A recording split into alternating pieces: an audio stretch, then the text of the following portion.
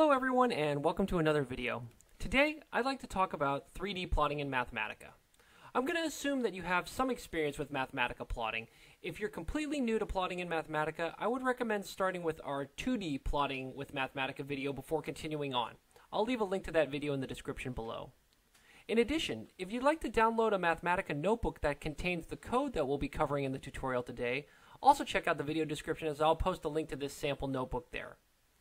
Finally, this is designed to be an introductory foray into 3D plotting and will give you enough to start exploring on your own. Mathematica has tons of ways to generate 3D plots and will release separate videos to cover some of these more exotic options in the future. In terms of an agenda, we're going to first start off talking about how to plot surfaces using the plot 3D function. We'll also look at how to decorate the plot as well as how to change the viewpoint. After we look at surfaces, why don't we take a look at how to plot lines using the parametric plot 3D function. And after we are able to make some lines, how about let's make some points using the graphics 3D function. So, if all of that sounds great to you, why don't we jump on over to Mathematica and dive in. Alright, so here we are with our blank Mathematica notebook. Now, before we look at 3D plotting, it might be relevant to review 2D plotting. So if you recall, to generate a 2D plot in Mathematica, you simply use the plot command and then you specify a function. So in this case, how about let's use cosine of x? And then you specify the domain of that function that you're interested in. So maybe how about x going from minus pi to pi? Right? And if you shift enter that, Mathematica will generate this two-dimensional plot with the domain or the x values on the horizontal axis and the range or the y values on the vertical axis. So if you recall, a 3D plot is a simple extension of this idea where instead of having a single input to the function, the function now has two inputs, an x1 and an x2, which are input to the function to generate a scalar output. So therefore, a 3D plot is simply a plot of all of the x1, x2 pairs and the corresponding output of that function at these pair locations. So in Mathematica, Many of the normal 2D plotting functions have a 3D equivalent, and that is just the normal 2D name, and then you add the suffix of 3D to the end. So in this case, instead of plot, let's look at plot 3D. And now all I'm going to do is I'm going to modify the function slightly. So now there's an x1, so maybe let's do cosine of x1 times x2 here. And now the domain, we see that there's an x1 set of values, we also need to specify the values of x2 that we're interested in. Um, how about minus 10 to 16? They don't have to be similar. They can be dissimilar. And if you go ahead and input this, you see that we now obtain a three-dimensional plot of that surface. So again, plot 3D is really great at making three-dimensional surface plots here. So again, when you get this thing in Mathematica, if you hover your mouse over the plot, you notice how the cursor changes from a uh, cursor to this kind of uh, double twisty arrows. So what that basically means is if you click and drag, you can twist the viewpoint of this plot here. So great, this is uh, fairly handy. And if you remember, just like how we did in um, 2D plotting, you can easily add options to this plot here. So maybe, you know what, let, let's copy this code here and we'll just paste it down here. And let's look at adding some plot options. So if you remember the way you add plot options, I'm just going to add a comma here and then I'll put maybe an enter for some white space. I'll put a little comment in here to say adding plot options aka we would like to decorate this plot a little bit. So for example, we can label the axes, right? We can say x1, x2, and then the third axis is f of x1, x2, right? We could also add a, uh, a plot label like we did earlier. We could go ahead and say this is a plot of f of cosine of, whoops, hit the wrong button there. Whoop, whoopsies. Cosine of x1, x2. Um, we could also go ahead and change uh, the color function. So if we don't like this orange, we could go ahead and change this to something like, uh, I don't know, how about, uh, yeah, rainbow. That seems kind of interesting. So again, you shift enter that, we get this more interesting plot. Some of the more interesting things that you might want to do here with that are specific to surfaces, if you remember all of these um, things that we did earlier were pretty much available in the 2D plotting, but you know, we can change things like we can make this surface a little bit uh, transparent. So maybe let's change the uh, plot style and we'll change the opacity so it's not fully uh, opaque here. So if you shift enter this, you see we end up now with this, well, with the rainbow, it doesn't turn out so good when I make it so transparent, but I think you get the idea right now. It's, it's slightly see-through. Um, one other thing that you might want to do here is, is maybe you want to add some uh, grid lines. So you can actually add grid lines here to the faces of this block. I don't like this um, too much. You can see why. Let's just go ahead and do that. So face grids, let's change this to all. And if you shift enter that, you see that you get some grid lines, but I feel like it clutters up the plot a little bit. So usually I don't use it, but I have had that question about how to add grid lines, so I thought I would just show you. So anyway, here we are. This is a good way to generate surfaces. So maybe let's go ahead and start a section up here, and we'll call this here um, surfaces using plot 3D. Okay, great. So now that we've looked at surfaces, what else might we want to do? Oh, actually, you know what? Before we leave surfaces, let's do let's do one more thing here. Um, I did mention I wanted to show you how you could change the viewpoint of this plot. So I tell you what, let's grab the uh, the simple example here. We'll come down here and paste it. So again, if I shift enter this, right, you get this kind of uh, skewed isometric view of this. You can change the viewpoint that Mathematica chooses to display this at. So you can go ahead and add some plot options. One of the plot options here is the viewpoint. We can say, look at this from the from the front here. So if you look at this, it will now give you a front-on view. But one thing that's interesting to note here is that the viewpoint is actually it's it's not uh, a viewpoint at infinity here, right? You can kind of see that you don't get a full-on front view of the the plot, right? Because um, Mathematica chooses a camera point that is somewhere near the surface. So if you don't like that, if you want to see like a full-on un um, skewed front view, instead of using uh, options of like front, rear, side here, or top for the viewpoint, you can manually specify this. So in fact, I want to say I want this to be at x equals 0 y equals, how about, um, whoops, minus infinity here and 0. And if we do this, you can now see the difference here, right? So now this gives you a viewpoint at uh, infinity here. So you are really looking at this straight on like you would with maybe, say, like a MATLAB plot or something like that. Okay, so great. That is um, a, a, real quick crash course into generating surfaces in Mathematica. Why don't we talk about lines now? So there's lots of ways to generate three-dimensional lines in Mathematica here, but the one that I find to be the easiest here is generating lines using parametric plot 3D.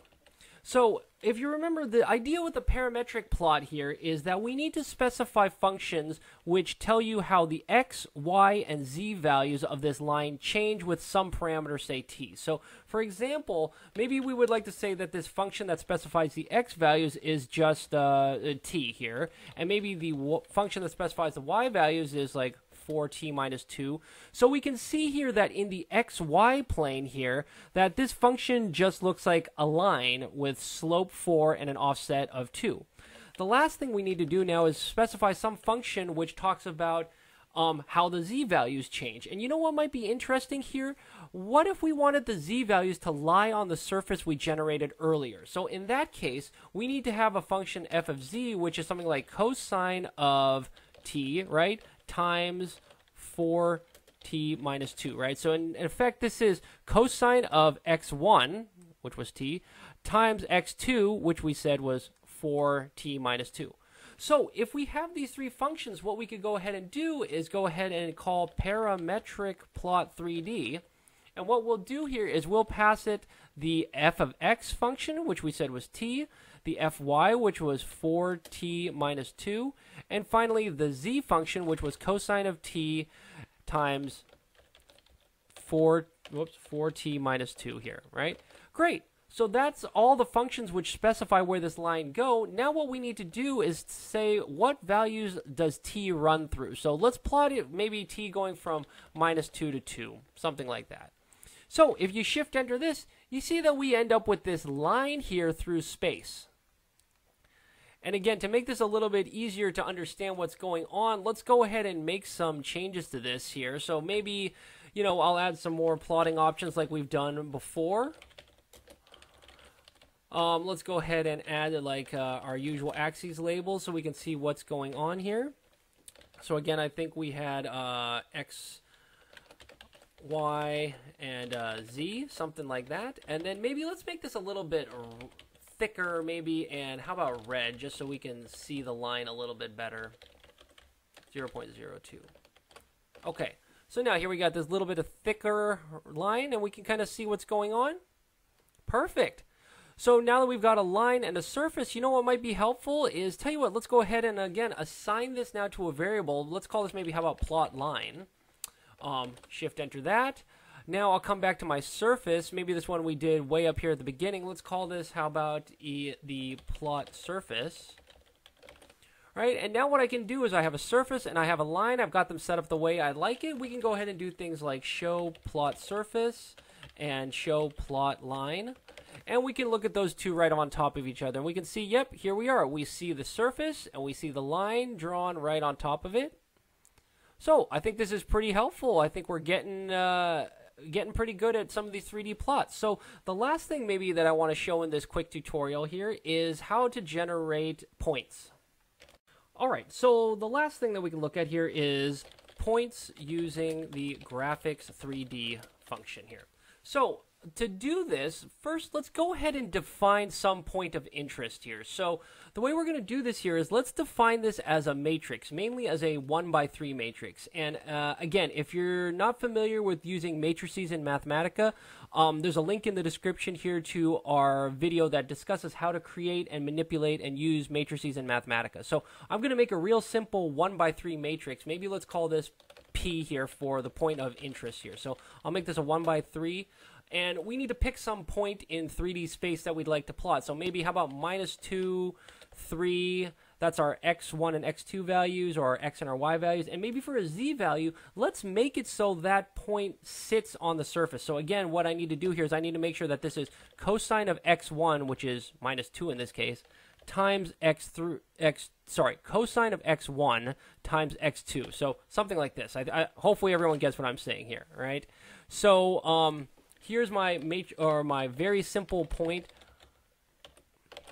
p here, which is just these three coordinates. So what I can now do here is once I have this is we can go ahead and I'm put a little comment here. I'm going to say I want to create a point object. So Mathematica has this function called point. If I pass it this matrix, what it's going to do is it's going to create an object called point. So or uh, of type point. So let's call this maybe PT just to distinguish the two here. So now that I have this, this point object called PT, what I can do here is I can draw the point using the graphics 3D function. So if I go graphics 3D and I pass it this point PT and I shift enter that, you see we end up with this point here in three-dimensional space, right? And again, we could obviously go back and we can call this thing the plot of the point here. And now we could go ahead and try to show all of these things together, right? We could try to show the plot of the surface. Whoops, so plot surface, plot line, and the plot of the point, right? But as you can probably imagine, it is really hard to see, right? That point is this silly, tiny, dark colored shape, and, and I can barely see it. You can see where I'm trying to circle it with my cursor right now. Let me just see if I drag this to a better angle, you might be able to see it a little bit here, right? So although it does show the point, it is ridiculously difficult to see. So you know what we want might want to do is let's modify that to be a little bit more visible. So let's come back up to my graphics 3D call here.